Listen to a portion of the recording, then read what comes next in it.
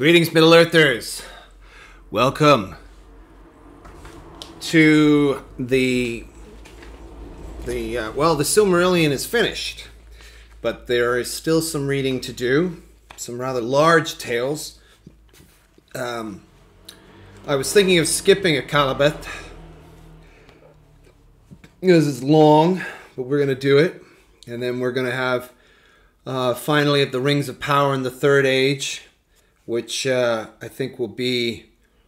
Um, which will be very uh, familiar to a lot of you because it leads right into the um, the uh, the Lord of the Rings.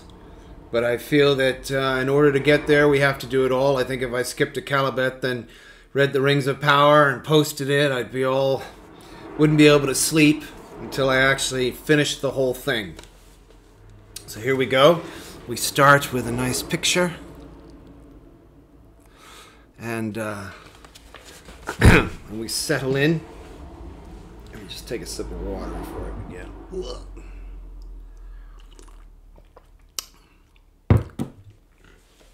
Right. Akallabeth, the downfall of Numenor. It is said by the Eldar that men came into the world in the time of the shadow of Morgoth, and they fell swiftly under his dominion. For he sent his emissaries among them, and they listened to his evil and cunning words, and they worshipped the darkness, and yet feared it.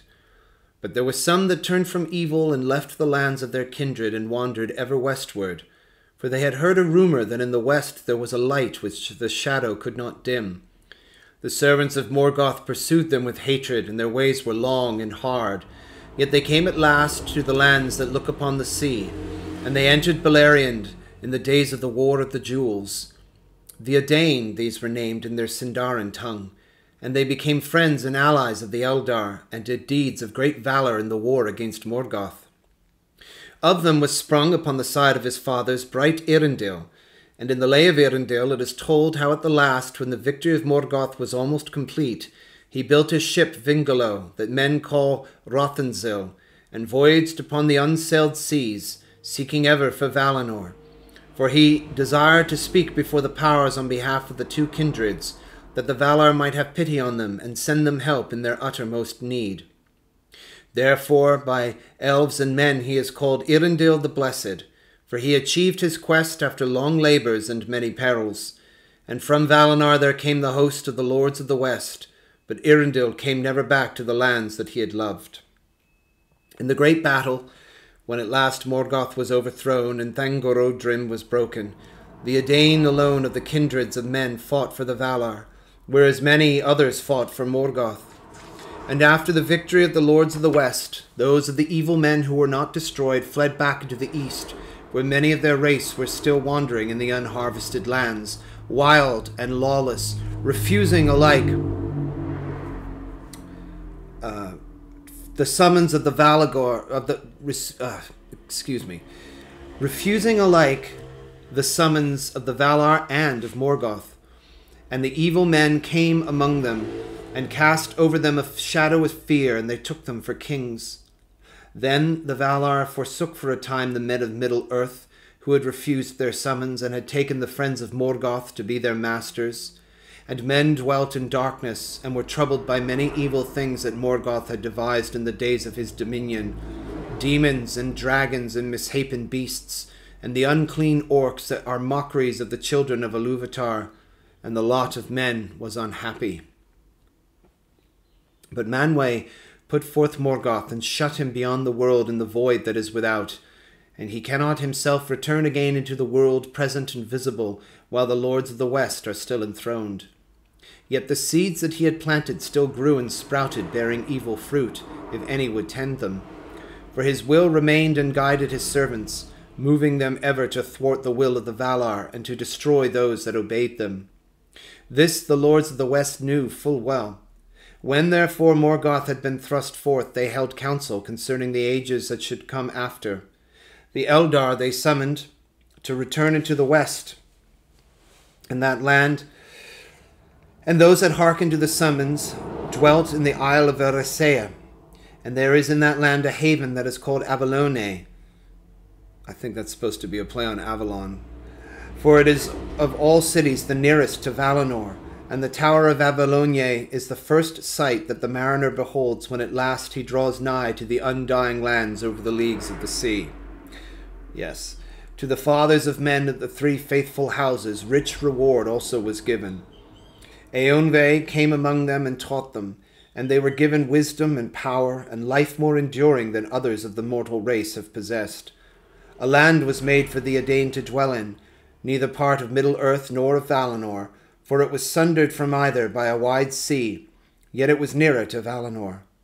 It was raised by Ossë out of the depths of the great water, and it was established by Aulë and enriched by Yavanna, and the Eldar brought thither flowers and fountains out of Tol, Eressëa. That land the Valar called Andor, the land of gift, and the star of Eärendil shone bright in the west as a token that all was made ready, and as a guide over the sea, and men marvel to see that silver flame in the paths of the sun. Then the Edain set sail upon the deep waters, following the star, and the Valar laid a peace upon the sea for many days, and sent sunlight and a sailing wind, so that the waters glittered before the eyes of the Edain like rippling glass, and the foam flew like snow before the stems of their ships. But so bright was Rothinzil that even at morning men could see it glimmering in the west, and in the countless night it shone alone, for no other star could stand beside it. And for setting their course towards it, the Edain came at last over leagues of sea and saw afar the land that was prepared for them. Andor, the, lin- the land of gift, shimmering in a golden haze. Then they went up out of the sea and found a country fair and fruitful, and they were glad. And they called that land Elenna, Elenna, which is starwards, but also Anadûnê, which is Westernesse, Númenórë in the high Eldarin tongue. This was the beginning of that people that in the grey elven speech are called the Dunedain, the Numenorians, kings among men. But they did not thus escape from the doom of death that Iluvatar had set upon all mankind, and they were mortal still, though their years were long, and they knew no sickness ere the shadow fell upon them. Therefore they grew wise and glorious, and in all things more like to the firstborn than any other of the kindreds of men. And they were tall, taller than the tallest of the sons of Middle Earth, and the light of their eyes were like the bright stars. But their numbers increased only slowly in the land, for though daughters and sons were born to them, fairer than their fathers, yet their children were few. Of old, the chief city and haven of Numenor was in the midst of its western coasts, and it was called Andúnië, because it faced the sunset. But in the midst of the land was a mountain tall and steep, and it was named the Meneltarma, the pillar of heaven. And upon it was a high place that was hallowed to Eru Iluvatar, and it was open and unroofed, and no other temple or fane was there in the land of the Numenorians. At the feet of the mountain were built the tombs of the kings, and hard by upon a hill was Armenel, Armenel, Armenel, Armenelos, fairest of cities, and there stood the tower and the citadel that was raised by Elros, son of Eärendil, whom the Valar appointed to be the first king of the Dunedain. Now Elros and Elrond his brother were descended from the three houses of the Edain, but in part also both from the Eldar and the Maiar, for Idril of Gondolin and Lúthien, daughter of Melian, were their foremothers.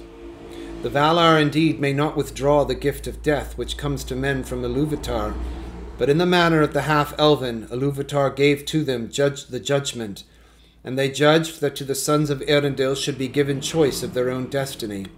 And Elrond chose to remain with the firstborn, and to him the life of the firstborn was granted. But to Elros, who chose to be a king of men, still a great span of years was allotted, many times that of the men of Middle Earth, and all his line, the kings and lords of the royal house, had long life, even according to the measure of the Numenorians. But Elros lived five hundred years, and ruled the Numenorians four hundred years and ten.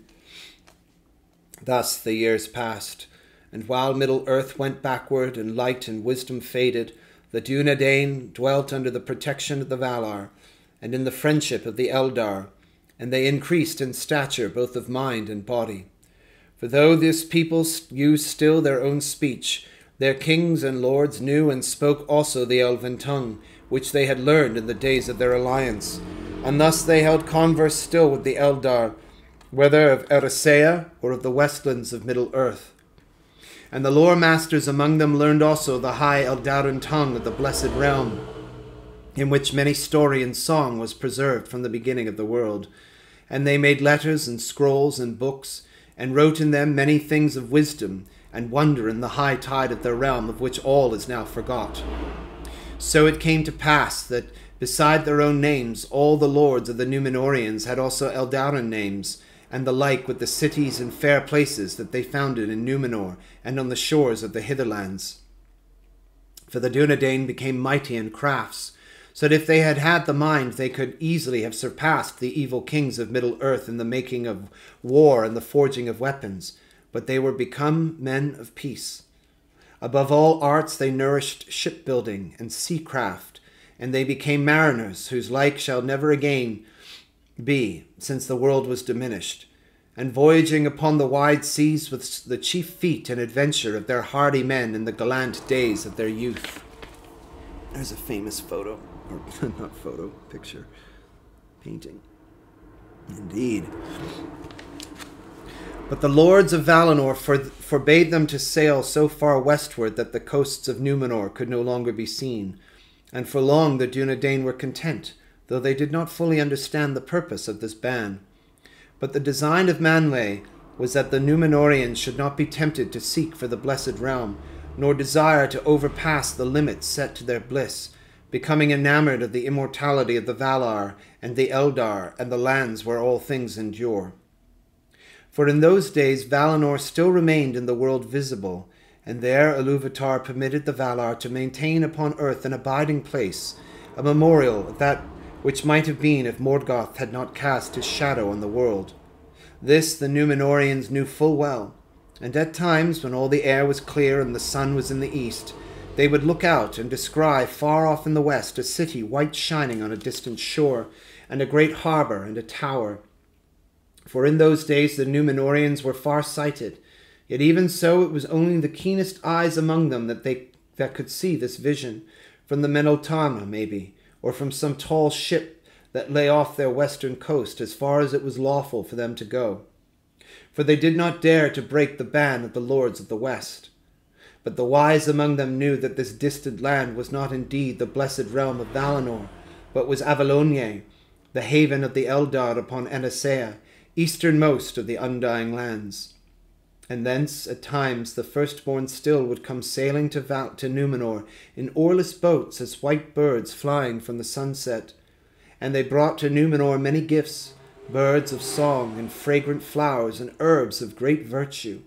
And a seedling they brought of Celeborn, the white tree that grew in the midst of Eressëa, and that was its in, that was in its turn a seedling of Galathilion, the tree of Túna, the image of Telperion that Yavanna gave to the Eldar in the Blessed Realm. And the tree grew and blossomed in the courts of the king and Armenelos. Nimloth it was named, and flowered in the evening, and the shadows of night it filled with its fragrance. Thus it was Thus it was that because of the ban of the Valar, the voyages of, of the Dunedain in those days went ever eastward and not westward from the darkness of the north to the heats of the south, and beyond the south to the nether darkness.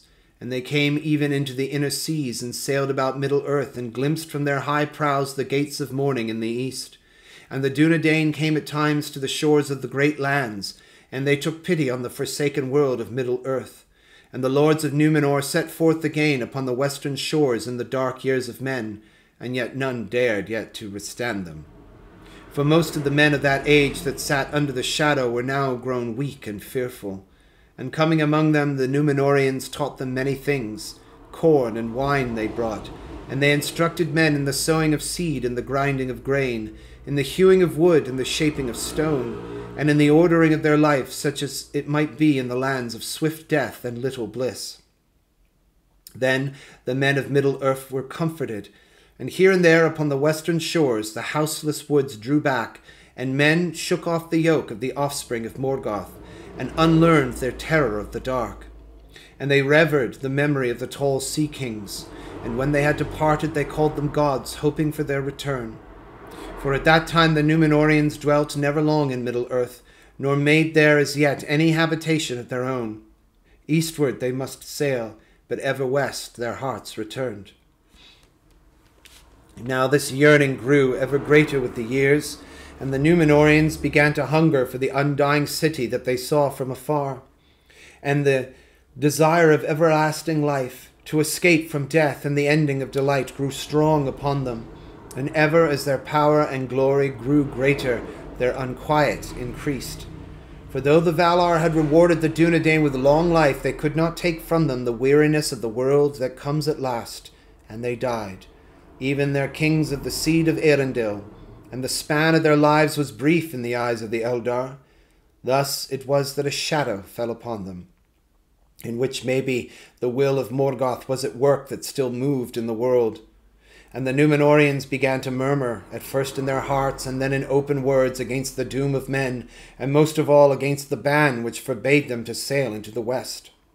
And they said among themselves, Why do the lords of the west sit there in peace unending, while we must die, and go we know not whither, leaving our home and all that we have made? And the Eldar die not, even those that rebelled against the lords. And since we have mastered all seas, and no water is so wild or so wide that our ships cannot overcome it, why should we not go to Avallónë and greet there our friends?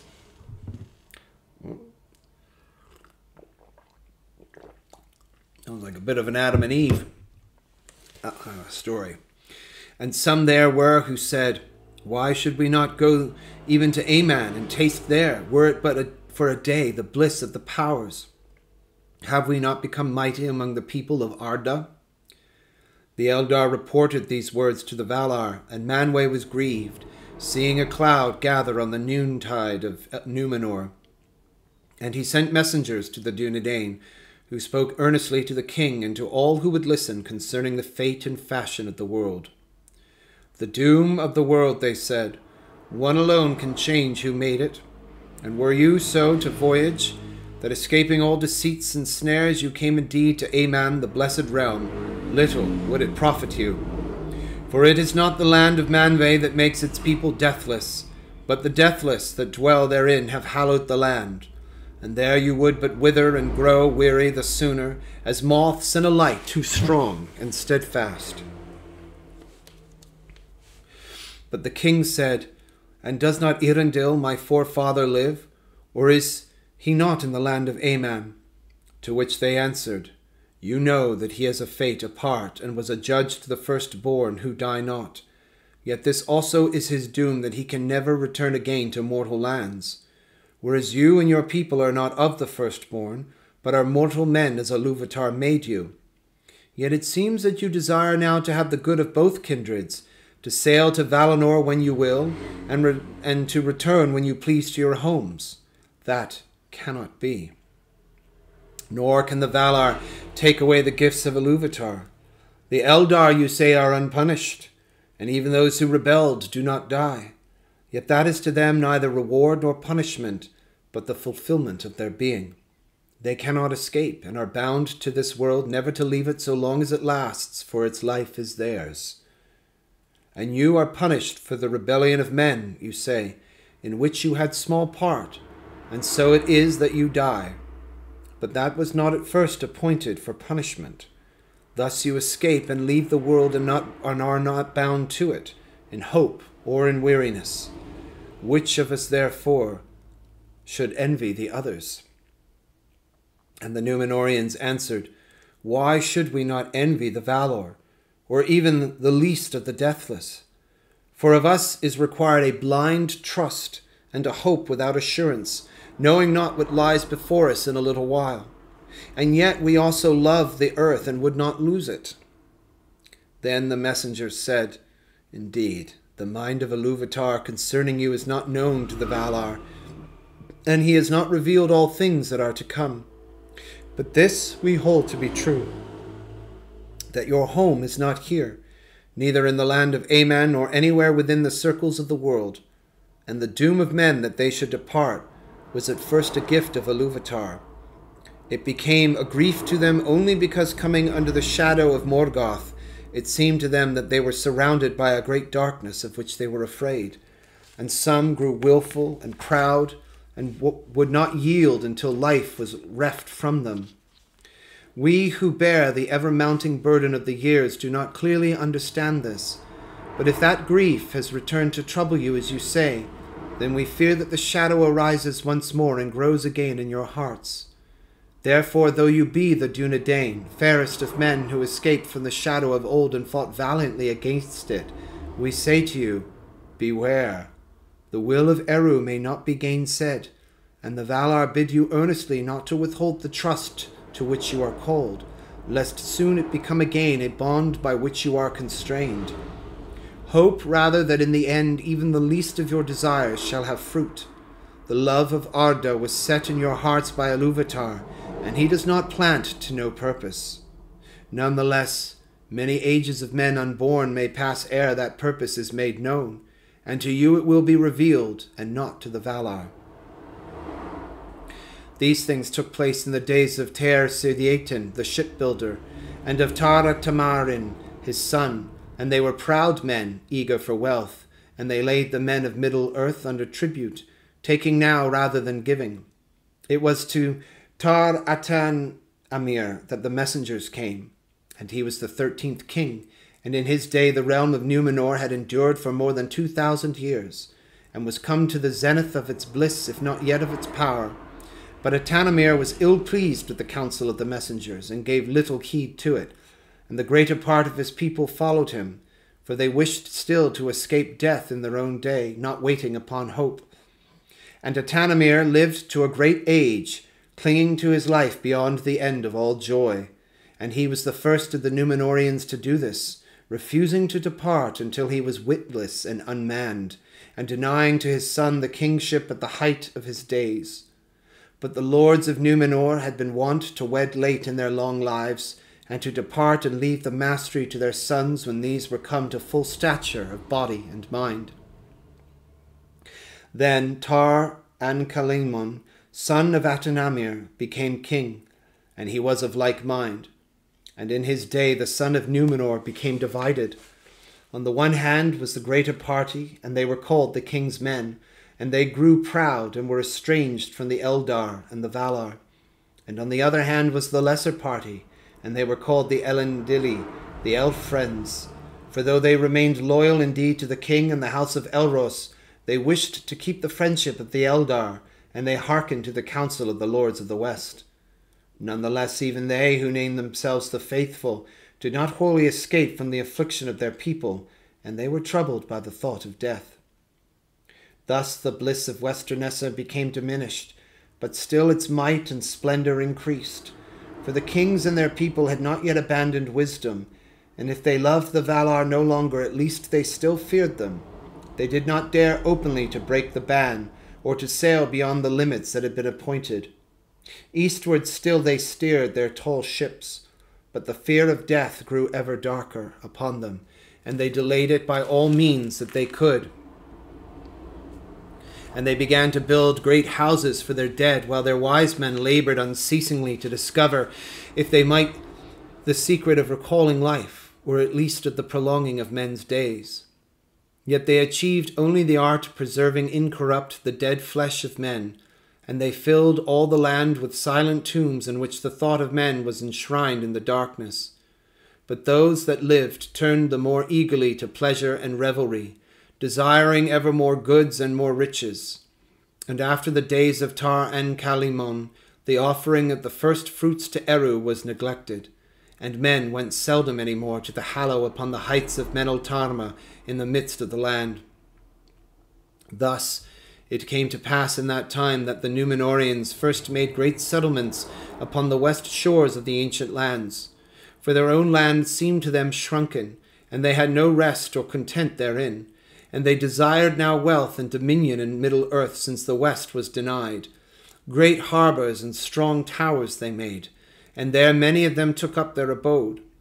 But they appeared now rather as lords and masters and gatherers of tribute than as helpers and teachers.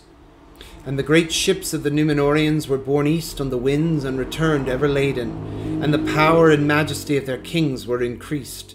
And they drank and they feasted, and they clad themselves in silver and gold. In all this the elf friends had small part. They alone came now ever to the north and the land of Gil-galad, keeping their friendship with the elves and lending them aid against Sauron. And their haven was Pelargir, above the mouths of Anduin the Great. But the king's men sailed far away to the south, and the lordships and strongholds that they made have left many rumors in the legends of men.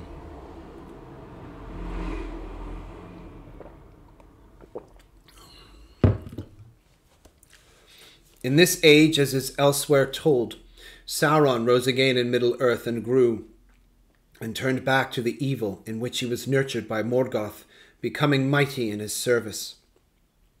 Already in the days of Tar Minastir, the eleventh king of Numenor, he had fortified the land of Mordor, and had built there the tower of Barad-dûr, and thereafter he strove ever for the dominion of Middle Earth, to become a king over all kings and as a god unto men. And Sauron hated the Numenorians, because of the deeds of their fathers and their ancient alliance with the elves and allegiance to the Valar. Nor did he forget the aid that Tar Minastir had rendered to Gil-galad of old, in that time when the One Ring was forged and there was war between Sauron and the elves and Eriador. Now he learned that the kings of Numenor had increased in power and splendor, and he hated them the more. And he feared them, lest they should invade his lands and wrest from him the dominion of the east. But for a long time he did not dare to challenge the lords of the sea, and he withdrew from the coasts. Yet Sauron was ever guileful, and it is said that among those whom he ensnared with the nine rings, three were great lords of Numenorian race. And when the Úlairi arose that were the ringwraiths his servants, and the strength of his terror and mastery over men had grown exceedingly great, he began to assail the strong places of the Numenorians upon the shores of the sea. In those days the shadow grew deeper upon Numenor, and the lives of the kings of the house of Elros waned because of their rebellion, but they hardened their hearts the more against the Valar. And the twentieth king took the sceptre of his fathers, and he ascended the throne in the name of Adûnakhôr, Lord of the West, forsaking the elven tongues and forbidding their use in his hearing. Yet in the scroll of kings the name Herunúmen, Herunúmen was inscribed in the high elven speech because of ancient custom, which the kings feared to break utterly lest evil befall. Now this title seemed to the faithful overproud, being the title of the Valar, and their hearts were sorely tried between their loyalty to the house of Elros and their reverence of the appointed powers. But worse was yet to come. For Ar Gimilzor, the twenty-third king, was the greatest enemy of the faithful. In his day, the white tree was untended and began to decline, and he forbade utterly the use of the elven tongues and punished those that welcomed the ships of Eressëa that still came secretly to the west shores of the land. Now, the Elendili dwelt mostly in the western regions of Numenor, but, but Ar Gimilzor commanded all that he could discover to be of this party to remove from the west and dwell in the east of the land, and there they would and there they were watched. And the chief dwelling of the faithful in the later days was thus nigh to the harbour of Rómenna. Thence many set sail to Middle Earth, seeking the northern coasts, where they might speak still with the Eldar in the kingdom of Gil-galad. This was known to the kings, but they hindered it not. Sorry so long as the Elendili departed from their land and did not return. For they desired to end all friendship between their people and the Eldar of Eressëa, whom they named the spies of the Valar, hoping to keep their deeds and their counsels hidden from the lords of the West. But all that they did was known to Manwë, and the Valar were wroth with the kings of Numenor, and gave them counsel and protection no more. And the ships of Eressëa came never again out of the sunset, and the havens of Andúnië were forlorn. Highest in honour after the house of the kings were the lords of Andúnië, for they were of the line of Elros, being descended from Silmariën, daughter of Tar Elendil, the fourth king of Numenor. And these lords were loyal to the kings and revered them. And the lord of Andúnië, was ever among the chief counselors of the scepter. Yet also from the beginning they bore special love to the Eldar and reverence for the Valar.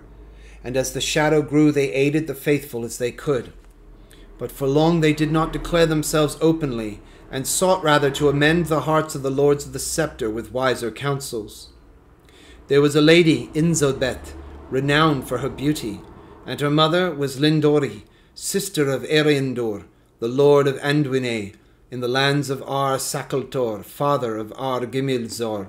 Gimilzor took her to wife, though this was little to her liking, for she was in heart one of the faithful, being taught by her mother. But the kings and their sons were grown proud, and not to be gainsayed by their wishes.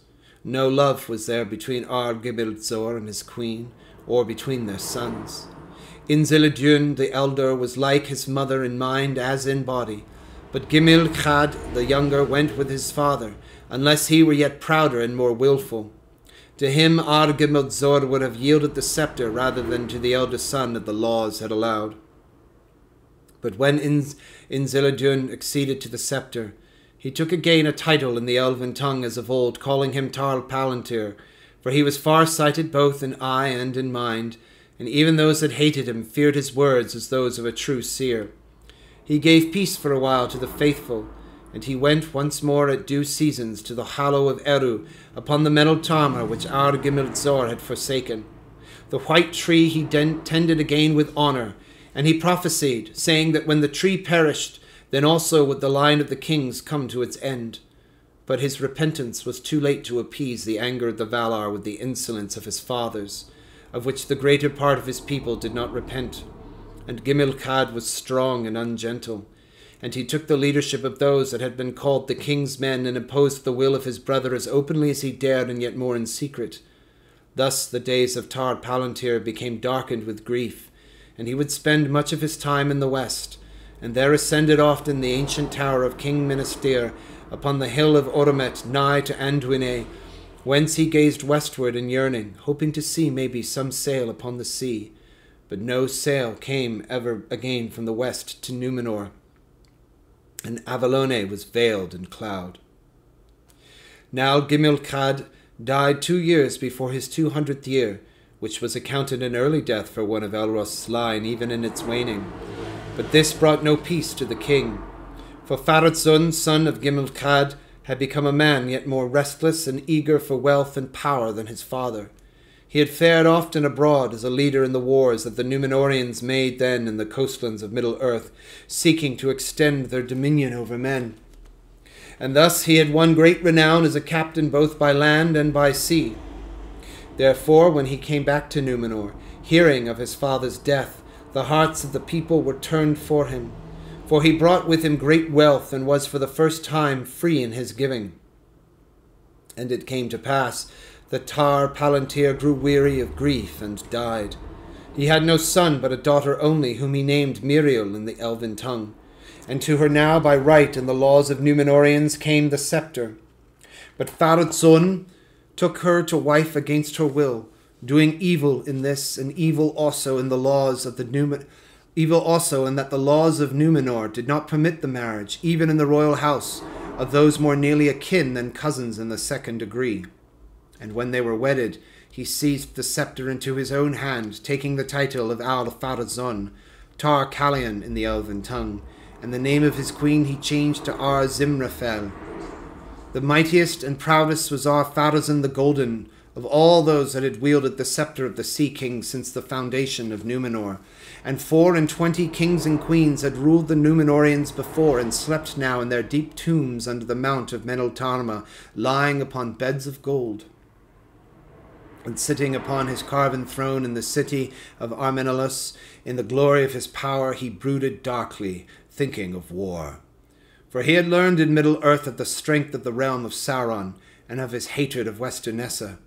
And now there came to him the masters of ships and captains returning out of the east, and they reported that Sauron was putting forth his might, since Al Pharazôn had gone back from Middle Earth, and was pressing down upon the cities by the coasts, and he had taken now the title of King of Men, and declared his purpose to drive the Númenóreans into the sea, and destroy even Numenor if that might be. Great was the anger of Ar Pharazôn at these tidings, and he pondered long in secret. His heart was filled with the desire of power unbounded and the sole dominion of his will. And he determined without counsel of the Valar, or the aid of any wisdom but his own, that the title of King of Men he would himself claim, and would compel Sauron to become his vassal and his servant. For in his pride he deemed that no king should ever rise so mighty as to vie with the heir of Eärendil. Therefore he began in that time to smith a great hoard of weapons, and many ships of war he built and stored them with his arms. And when all was made ready, he himself set sail with his host into the east. And men saw his sails coming up out of the sunset, dyed as with scarlet and gleaming with red and gold, and fear fell upon the dwellers by the coasts, and they fled far away. But the fleet came at last to that place that was called Umbar, where was the mighty haven of the Númenóreans, that no hand had wrought. Empty and silent were all the lands about when the king of the sea marched upon Middle Earth. For seven days he journeyed with banner and trumpet, and he came to a hill, and he went up, and he set there his pavilion and his throne, and he sat him down in the midst of the land, and the tents of his host were ranged all about him, blue, golden, and white, as a field of tall flowers. Then he sent forth heralds, and he commanded Sauron to come before him and swear to him fealty. And Sauron came. Even from his mighty tower of Barad-dûr he came and made no offer of battle. For he perceived that the power and majesty of the kings of the sea surpassed all rumour of them, so that he could not trust even the greatest of his servants to withstand them. And he saw not his time yet to work his will with the Dunedain, and he was crafty, well skilled to gain what he would by subtlety when force might not avail. Therefore he humbled himself before Ar-Pharazôn and smoothed his tongue, and men wondered, for all that he had said seemed fair and wise. But Ar-Pharazôn was not yet deceived, and it came into his mind that for the better keeping of Sauron and of his oaths of fealty, he should be brought to Numenor, there to dwell as a hostage for himself and all his servants in Middle-earth.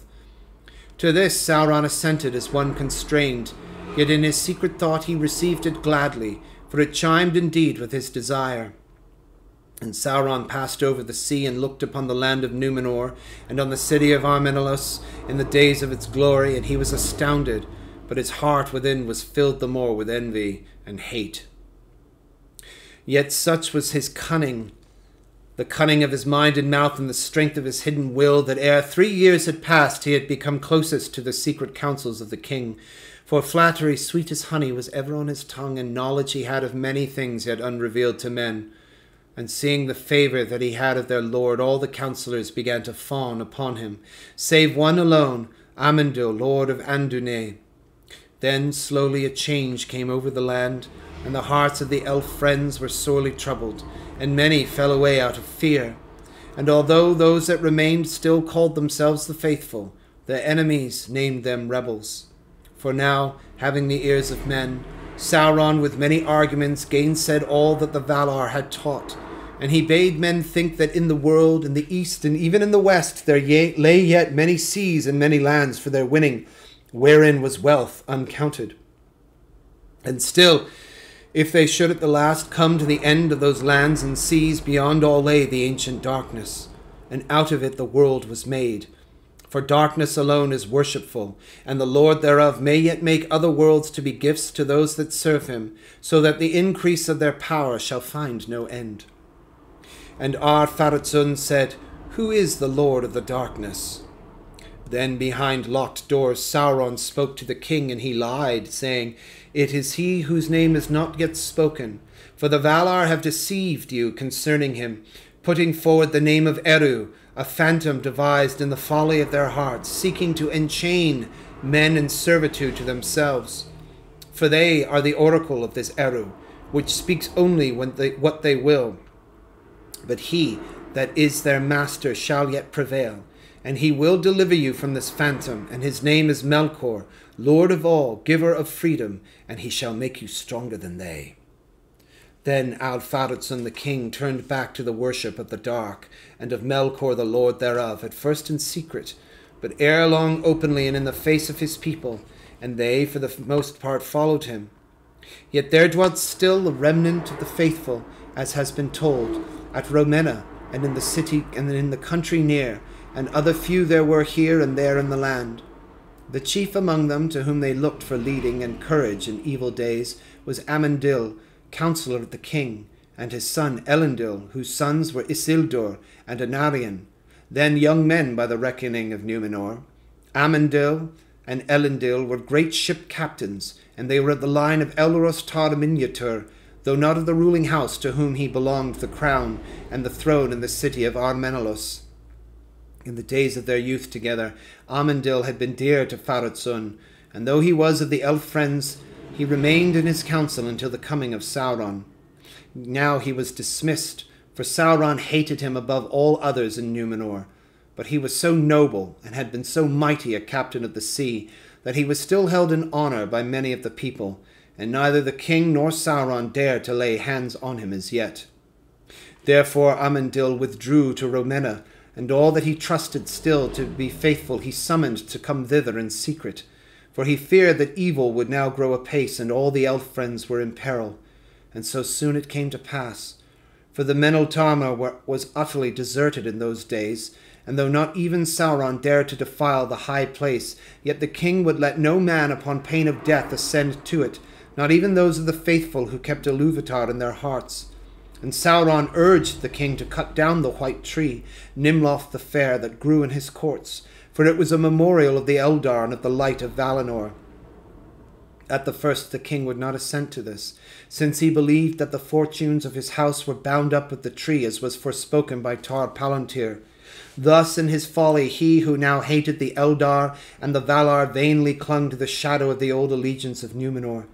But when Amandil heard rumour of the, of the evil purpose of Sauron, he was grieved to the heart, knowing that in the end Sauron would surely have his will. Then he spoke to Elendil and the sons of Elendil, recalling the tale of the trees of Valinor. And Isildur said no word, but went out by night and did a deed for which he was afterwards renowned for he passed alone in disguise to Armenelos, and to the courts of the king which were now forbidden to the faithful. And he came to the place of the tree which was forbidden to all by the orders of Sauron, and the tree was watched day and night by guards in his service.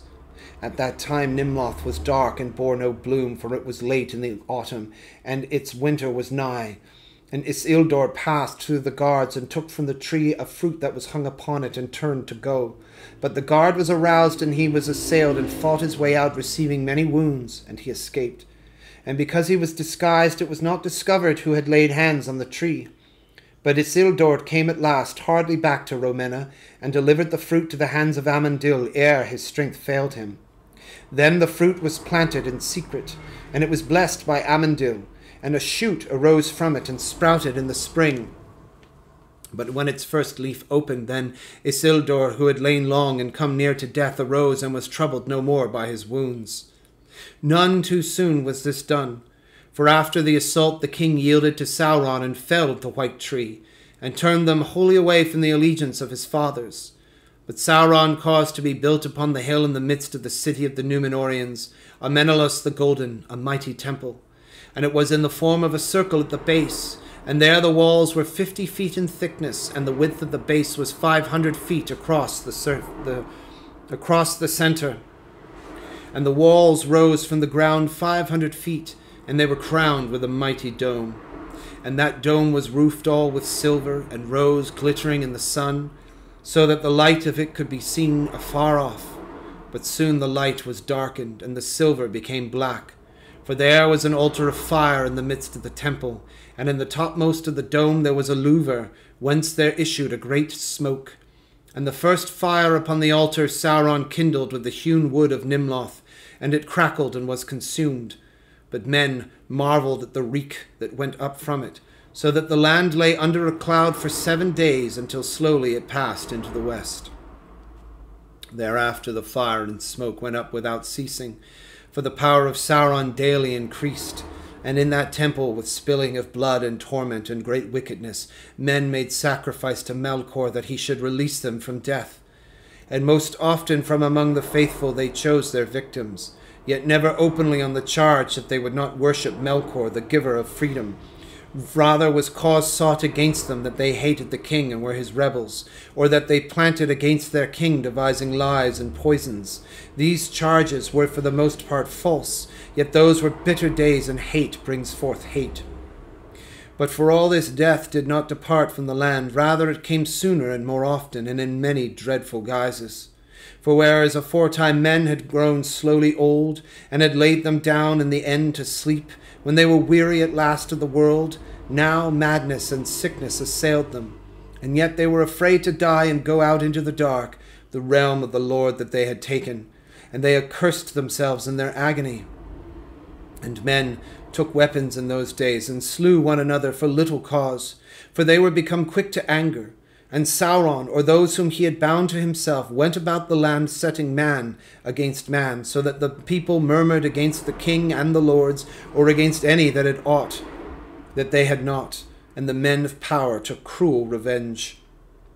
None the less, for long it seemed to be the Númenóreans that they prospered, and if they were not increased in happiness, yet they grew more strong, and their rich men grew richer. For with the aid and counsel of Sauron, they multitude their possessions, and they devised engines, and they built ever greater ships. And they sailed now with power and armory to Middle Earth, and they came no longer as bringers of gifts, nor even as rulers, but as fierce men of war. And they hunted the men of Middle Earth, and took their goods, and enslaved them, and many they slew cruelly upon their altars. For they built in their fortresses temples and great tombs in those days, and men feared them, and the memory of the kindly kings of the ancient days faded from the world and was darkened by many a tale of dread. Thus Al Al-Pharazôn, king of the land of the star, grew to the mightiest tyrant that had yet been in the world since the reign of Morgoth, though in truth Sauron ruled all from behind the throne.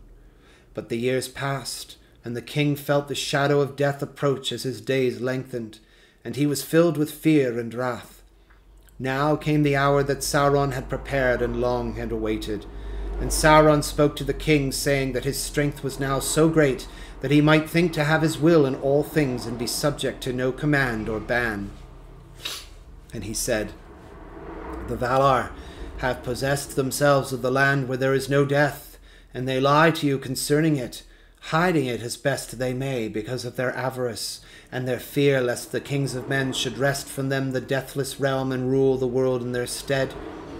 And though doubtless the gift of life unending is not for all, but only for such as are worthy, being men of might and pride and great lineage, yet against all justice is it done that this gift which is his due shall be withheld from the King of Kings, Ar-Pharazôn, mightiest of the sons of earth, to whom Manwë alone can be compared, if even he. But great kings do not brook denials, and take what is their due. Then Ar-Pharazôn, being besotted, and walking under the shadow of death, for his span was drawing toward its end, hearkened to Sauron, and he began to ponder in his heart how he might make war upon the Valar. He was long preparing this design, and he spoke not openly of it, yet it could not be hidden from all. And Amandil, becoming aware of the purposes of the king, was dismayed and filled with a great dread, for he knew that men could not vanquish the Valar in war, and that ruin must come upon the world if this war were not stayed. Therefore he called his son Elendil, and he said to him, The days are dark, and there is no hope for men, for the faithful are few. Therefore I am minded to try that counsel which our forefather Eärendil took of old to sail into the west, to be there, ban or no, and to speak to the Valar, even to Manwë himself, if may be, and beseech his aid ere all is lost. Would you then betray the king? said Elendil. For you know well the charge that they make against us, that we are traitors and spies, and that until this day it has been false. If I thought that Manwë needed such a messenger, said Amandil, I would betray the king. For there is but one loyalty from which no man can be absolved in heart for any cause. But it is for mercy upon men and their deliverance from Sauron the deceiver that I would plead, since some at least have remained faithful. And as for the ban, I will suffer in myself the penalty lest all my people should become guilty. But what think you, my father, is like to befall those of your house whom you leave behind when your deed becomes known? It must not become known, said Amandil. I will prepare my going in secret, and I will set sail into the east, whither daily the ships depart from our havens. and thereafter, as wind and chance may allow, I will go about through south or north, back into the west, and seek what I may find. But for you and your folk, my son, I counsel that you should prepare yourselves other ships, and put aboard all such things as your hearts cannot bear to part with. And when the ships are ready, you shall lie in the haven of Rómenna, and give out among men that you purpose, when you see your time to follow me into the east. Amandil is no longer so dear to our kinsmen upon the throne that he will grieve over much if we seek to depart, for a season or for good. But let it not be seen that you intend to take many men, or he will be troubled, because of the war that he now plots, for which he will need all the force that he may gather. Seek out the faithful that are known still to be true, and let them join you in secret if they are willing to go with you and share in your design. And what shall that design be? said Elendil. To meddle not in the war and to watch, answered Amandil. Until I return I can say no more. But it is most like that you shall fly from the star of the land with no star to guide you, for that land is defiled. Then you shall lose all that you have loved, for tasting death in life, seeking a land of exile elsewhere. But east or west the Valar alone can say. Then Amandil said farewell to all his household as one that is about to die. For, said he, it may well prove that you will never see me again, and that I shall show you no such sign as Eärendil showed long ago, but hold you ever in readiness, for the end of the world that we have ever known is now at hand. It is said that Amandil set sail in a small ship at night, and steered first eastward, and then went about and passed into the west. And he took with him three servants dear to his heart, and never again were they heard of by word or sign in this world, nor is there any tale or guess of their fate. Men could not a second time be saved by any such embassy, and for the treason of Numenor there was no easy absolving. But Elendil did all that his father had bidden, and his ships lay off the east coast of the land. And the faithful put aboard their wives and their children, and their heirlooms and great store of goods. Many things there were of beauty and power, such as the Númenóreans had contrived in the days of their wisdom, vessels and jewels and scrolls of lore written in scarlet and black. And seven stones they had, the gift of the Eldar. But in the ship of Isildur was guarded the young tree, the scion of Nimloth the Fair. Thus Elendil held himself in readiness and did not meddle in the evil deeds of those days and ever he looked for a sign that did not come. Then he journeyed in secret to the western shores and gazed out over the sea, for sorrow and yearning were upon him, and he greatly loved his father. But naught could he descry save the fleets of Ar-Pharazôn gathering in the havens of the west. Now aforetime in the Isle of Numenor the weather was ever apt to the needs and liking of men, rain in due season and ever in measure, and sunshine now warm and now cooler in winds from the sea. And when the wind was in the west, it seemed to many that it was filled with a fragrance, fleeting but sweet, heart stirring as of flowers that bloom forever in undying meads, and have no names on mortal shores. But all this was now changed, for the sky itself was darkened, and there were storms of rain and hail in those days, and violent winds, and ever and anon a great ship of the Númenóreans would founder and return not to haven, though such a grief had not till then befallen them since the rising of the star and out of the west there would come at times a great cloud in the evening, shaped as it were an eagle, with pinions spread to the north and to the south. And slowly it would loom up, blotting out the sunset, and then uttermost night would fall upon Numenor. And some of the eagles bore lightning beneath their wings, and thunder echoed between sea and cloud. The men grew afraid. Behold the eagles of the lords of the west, they cried. The eagles of Manwë are come upon Numenor, and they fell upon their faces.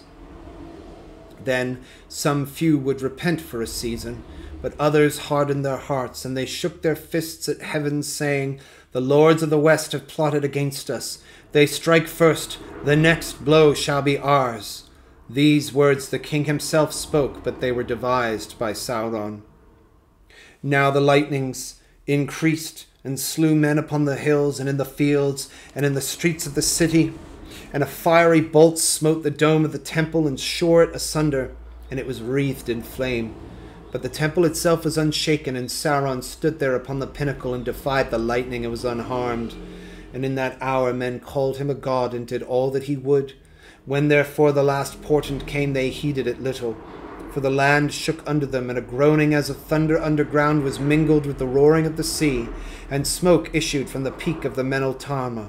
But all the more did Al Pharazôn press on with his armament. Here's the picture. In that time, the fleets of the Númenóreans darkened the sea upon the west of the land, and they were like an archipelago of a thousand isles. Their masts were as a forest upon the mountains, and their sails like a brooding cloud, and their banners were golden and black. And all things waited upon the world of Al Pharazôn, and Sauron withdrew into the innermost uh, circle of the temple, and men brought him victims to be burned. Then the eagles of the lords of the west came up out of the dayfall, and they were arrayed for battle, advancing in a line the end of which diminished beyond sight, and as they came their wings spread ever wider, grasping the sky. But the west burned red behind them, and they glowed beneath as though they were lit with a flame of great anger, so that all Numenor was illumined as, illumined as with a smouldering flame. And men looked upon the faces of their fellows, and it seemed to them that they were red with wrath. Then Ar-Pharazôn hardened his heart, and he went aboard his mighty ship, Alcarondas, castle of the sea. Many oared it was, and many masted, golden and sable, and upon it the throne of Al-Pharazôn was set. Then he did on his panoply and his crown, and let raise his standard, and he gave the signal for the raising of the anchors, and in that hour the trumpets of Numenor outrang the thunder. Thus the fleets of the Númenóreans moved against the menace of the west, and there was little wind, but they had many oars and many strong slaves to row beneath the lash. The sun went down, and there came a great silence. Darkness fell upon the land, and the sea was still while the world waited for what should betide. Slowly the fleets passed out of the sight of the watchers in the havens, and their lights faded, and night took them. And in the morning they were gone. For a wind arose in the east, and it wafted them away, and they broke the band of the Valar and sailed into forbidden seas, going up with war against the deathless, to wrest from them everlasting life within the circles of the world.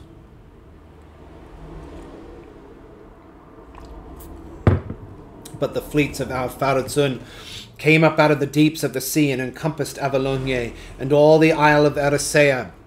And the Eldar mourned, for the light of the setting sun was cut off by the cloud of the Númenóreans. And at last Al-Pharazôn came even to Aman, the blessed realm, and the coasts of Valinor. And still all was silent, and doom hung by a thread. For Ar-Pharazôn wavered at the end, and almost he turned back.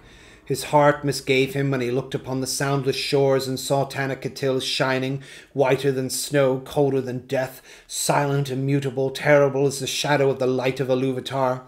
But pride was now his master, and at last he left his ship and strode upon the shore, claiming the land for his own, if none should do battle for it. And a host of the Númenóreans encamped in might about Túna, whence all the Eldar had fled the Manwë upon the mountain called upon Iluvatar, and for that time the Valar laid down their government of Arda. But Iluvatar showed forth his power, and he changed the fashion of the world, and a great chasm opened in the sea between Numenor and the deathless lands, and the waters flowed down into it, and the noise and smoke of the cataracts went up to heaven, and the world was shaken, and all the fleets of the Númenóreans were drawn down into the abyss, and they were drowned and swallowed up for ever. But Al Pharazôn, the king, and the mortal warriors that had set foot upon the land of Aman were buried under fa- falling hills. There it is said that they lie imprisoned in the caves of the forgotten until the last battle and the day of doom. But the land of Aman and Eressëa of the Eldar were taken away and removed beyond the reach of men for ever. And Andor, the land of gift, Numenor of the kings, Elenna of the star of Elendil was utterly de- destroyed. For it was nigh to the east of the great rift, and its foundations were overturned, and it fell and went down into darkness, and is no more. And there is not now upon earth any place abiding where the memory of a time without evil is preserved. For Iluvatar cast back the great seas west of Middle Earth, and the empty lands east of it, and new lands and new seas were made, and the world was diminished, for Valinor and Eressëa were taken from it into the realm of hidden things. In an hour unlooked for by men, this doom befell on the nine and thirtieth day since the passing of the fleets. Then suddenly fire burst from the Meneltarma, and there came a mighty wind and a tumult of the earth, and the sky reeled and the hills sled, and Numenor went down into the sea with all its children and its wives and its maidens and its ladies proud, and all its gardens and its halls and its towers, its tombs and its riches and its jewels and its webs and its things painted and carven and its laughter and its mirth and its music, its wisdom and its lore. They vanished forever. And last of all the mounting wave, mused green and cold and plumed with foam, climbing over the land, took to its bosom Tar Míriel, the queen, fairer than silver or ivory or pearls. Too late she strove to ascend the steep ways of the Meneltarma to the holy place, for the waters overtook her, and her cry was lost in the roaring of the wind. But whether or no it were that Amandil came indeed to Valinor and Manwë hearkened to his prayer, by grace of the Valar, Elendil and his sons and their people were spared from the ruin that day. For Elendil had remained in Rómenna, refusing the summons of the king when he set forth to war, and avoiding the soldiers of Sauron that came to seize him and drag him to the fires of the temple, he went aboard his ship and stood off from the shore, waiting on the time. There he was protected by the land from the great draught of the sea that drew all towards the abyss, and afterwards he was sheltered from the first fury of the storm. But when the devouring wave rolled over the land and Númenor toppled to its fall, then he would have been overwhelmed and would have deemed it the lesser grief to perish, for no wrench of death could be more bitter than the loss and agony of that day.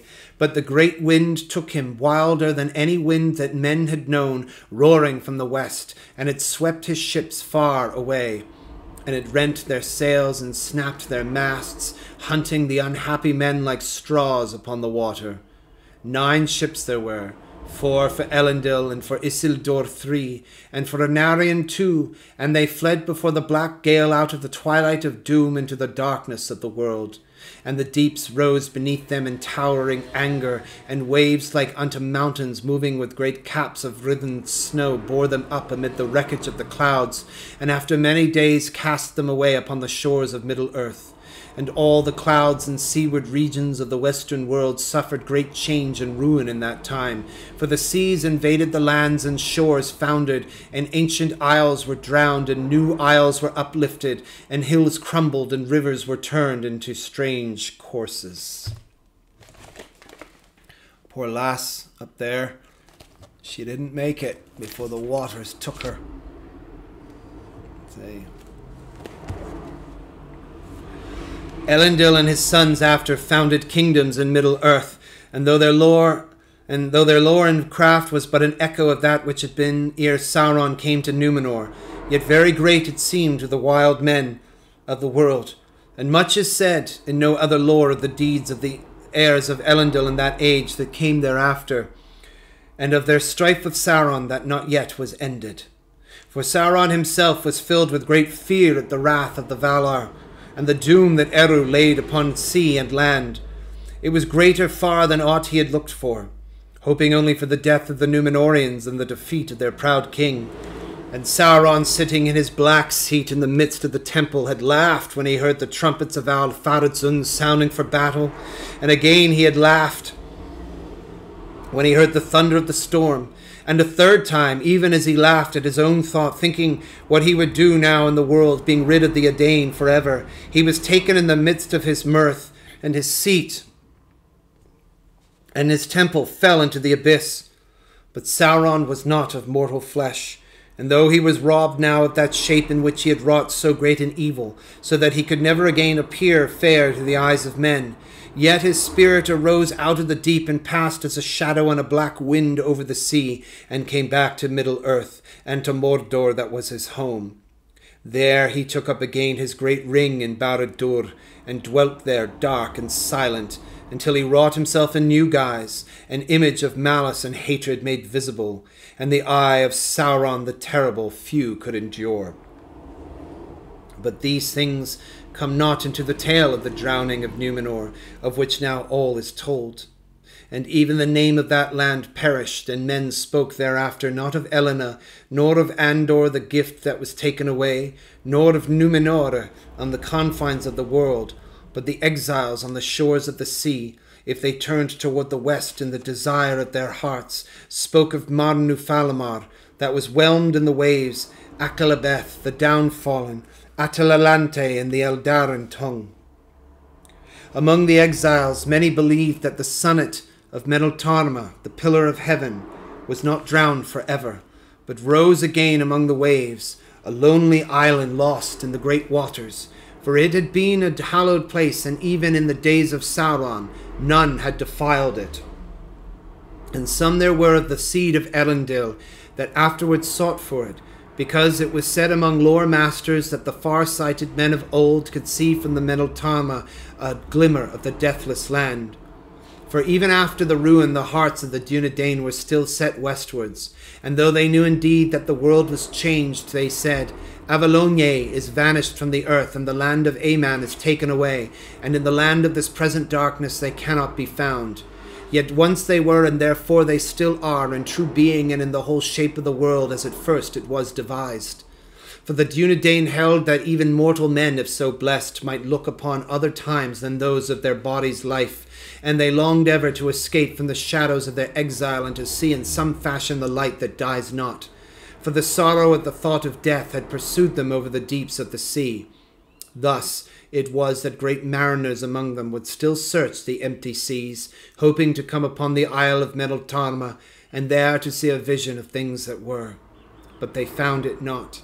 And those that sailed far came only to the new lands, and found them like to the old lands, and subject to death. And those that sailed furthest set but a girdle about the earth, and returned weary at last to the place of their beginning, and they said, All roads are now bent. Thus, in after days, what by the voyages of ships, what by lore and starcraft, the kings of men knew that the world was indeed made round, and yet the Eldar were permitted still to depart and to come to the ancient west and to Avallónë if they would. Therefore the lore masters of men said that a straight road must still be for those that were permitted to find it. And they taught that while the new world fell away, the old road and the path of the memory of the West still went on as it were a mighty bridge invisible that passed through the air of breath and of flight, for which which were bent now as the world was bent, and traversed Ilmen which flesh unaided cannot endure, until it came to Tol Eressëa, the lonely isle, and maybe even beyond to Valinor, where the Valar still dwell and watch the unfolding of the story of the world and tales and rumours arose along the shores of the sea concerning mariners and men forlorn upon the water who, by some fate or grace or favour of the Valar, had entered in upon the straight way and seen the face of the world sink below them, and so had come to the lamplit quays of Avallónë, or verily to the last beaches on the margin of Aman, and there had looked upon the white mountain, dreadful and beautiful, before they died. This is from just before. And that is Akallabeth. We have but one more tale to tell of the rings of power and the third age. Until next time, my friends, beware the might of Sauron.